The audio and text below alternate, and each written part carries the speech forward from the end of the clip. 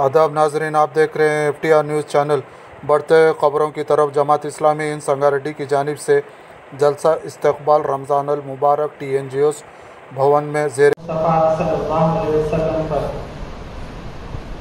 मोहतरम सामीन कराम मैं आप तमाम का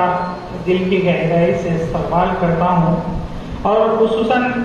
मौलाना महमूद अहमद खान उमरी साहब, खतीब मस्जिद कुतुब शाही गच्ची बोली हैदराबाद का और आज के मुकदीन का और अब तमाम का। जैसा कि अभी कन्वीनर साहब ने ये बात कही है कि अल्लाह के रसूल वसल्लम का ये तरीक़ाकार रहा है कि शाबान के अंदर सहाबा इकराम को जमा करते और उनको रमज़ान के ताल्लुक से उन्हें तलकीन करते उनसे ये कहते कि एक महीना शायद है